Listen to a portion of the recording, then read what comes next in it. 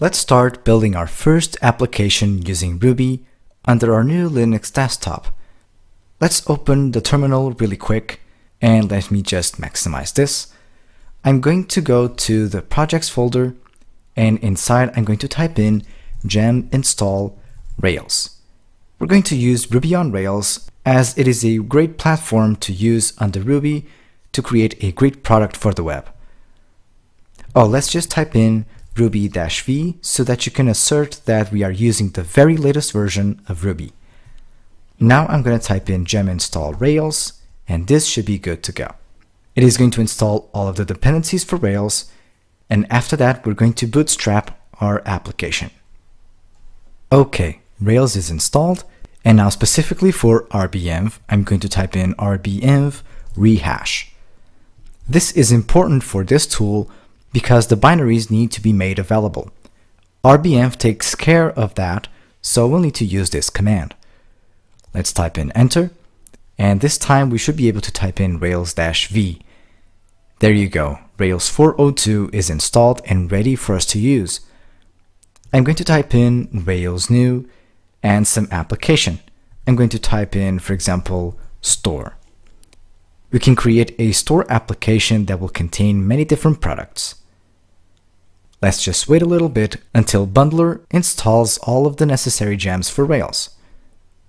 Okay, it seems we have an error regarding SQLite 3. You can see that we don't have SQLite 3 installed, so let's see what we can do to fix that problem. Since this is an Ubuntu system, we need to install something by typing in sudo apt-get install and then the name of the package. I don't know exactly the name of the package, so I'll just type in apt-cache search and then SQLite 3. Let's type in the password and we have loads of different SQLite files. Let's take a look really quick. We have loads of different libraries on SQLite, so there should be a SQLite library for us to use correctly. Okay, there you go. These are the files that we should be using. lib SQLite 3 development. I'm going to copy this little portion, so copy, go back to the very bottom, and type in sudo apt-get install, and then the name of our package. I just typed in Control Shift V to enter whatever we had in the clipboard. So I'll press enter and this will be installed and hopefully we should be able to install our Rails application correctly. Let's type it in again, Rails new store, or in fact we can just type in bundle install. The Rails app is already in here. If you type in ls to see the list of files and folders, the store file is there. So we can navigate to it, so cd store, and finally typing in bundle install because it recognizes the gem file right in there. So let's do that. Bundle install and this should be good to go now. Okay, our bundle is complete and so we can now begin to use our text editor. I'm going to restore this window and place it on the right side and now let's open Sublime Text on the left.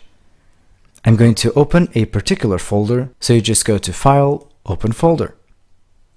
I'm going to my home folder, then Projects, and Store. You select it and click Open on the right side. Let's go to the right side really quick and create a new Rails generator. So I'm going to type in Rails generate and then scaffold.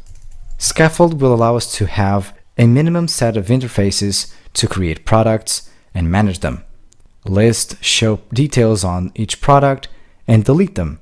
So Rails generates scaffold product, and it has a title, then a description, which is going to be a text area, and then we're also going to pass in, for example, a category.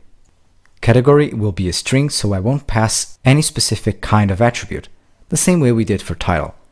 So I'll press enter now, and it should run okay, but as you can see, we don't have an available JavaScript runtime. There are many different types of runtimes you can install. For this reason, and to be simpler, I'm just going to type in sudo apt-get install Node.js. Node.js is a runtime that's available, so we're just going to use it. There's really no reason to use another one. After all, this is just for development purposes, you won't be needing to install a runtime in production. So let's do that and install Node.js. Okay, after this is installed, let's type it in again, the Rails command, to generate all of our resources. There you go. We have loads of different files, loads of different templates, a product controller, fixture files and tests, and also the assets that we need, the JavaScript file and the CSS file. Okay, let's clear the screen and go to our application folder. Let's see what we can come up with by going to the Views, Layouts, Application, HTML, ERB. I'm going to maximize this just so we can get a clearer look. And now all you see here is a standard boilerplate for Rails applications. If we want to, we can go to the terminal and type in Rails S to see what we can come up with already. I'm gonna go to the browser by clicking on Windows and then 1. The same way you can use this on Windows, you can use it on Linux, specifically Ubuntu. Okay, so the browser is up. I'll type in localhost port 3000. The result will be our application working, but in this case, it seems that we need to migrate our database. Let's do that really quick. I'm going to open yet another terminal window, and I'm going to our projects slash store folder and type in rake db colon migrate. Let's do that really quick and our database will be finally migrated. Now we can go to the browser and reload. There you go, our application is working. If you go to slash products here, we will go straight to our products page. We want to create a new product, so let's just do that. I'll type in tomato, which is a fruit. I'm going to specify that in the description. It is a fruit, not a vegetable. The category will be, for example, fruit. Write it to be a little nicer, fruit with a capital F. Pressing enter, you will see that the product was successfully created. This is the page for the tomato, and we can go back to the list of all of our products. You can destroy it, and it will pop up a confirmation prompt. I'm not going to do that just now, so let's just move on. Let's say that we want to add some different styling onto our application. I could be showing you Ruby right now, but for this case I just want to spice this up a little bit and then come up with a different feature on our application using Ruby. So for that, I'm going to the Zurb Foundation website. So I'll just type in foundation.zurb.com. And I want to make sure that I can use this with Rails. I'm going to click on Getting Started. And we should be able to use this with Ruby on Rails. I want to go to build an app here. I'll just click on this link and you will see that it has support for Rails directly. We just need to add this gem to the gem file, type in the bundle install command, use the generator to have the assets ready, and just require foundation inside of our assets. Okay, let's do that. Let's go back to the top, copy this gem right here, go to our gem file and paste that link reference right here. Let's just go right next to jQuery Rails. I'll type in foundation Rails as you can see. Then I'm going back to the terminal and type in the bundle command. You can just type in bundle, it will be alright. It assumes that the install command is going to be requested. So we just need to wait a little while to install the gem. And after that, we should be able to run the command that's provided in the documentation. Let's just type in Rails G foundation colon install. Let's press enter and this should pop up a series of different files being created. Then it is going to conflict with the already existing application file. This is because Foundation requires some JavaScripts and CSS files to be added. So we can just type in yes because we're just still early in the project. I'm just going to overwrite it. There you go, we have our new application.html.erb file.